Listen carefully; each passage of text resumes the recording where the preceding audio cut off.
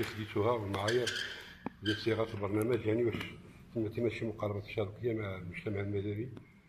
يعني أهم محاور هذا البرنامج ديال العام هذا اذا كان ممكن.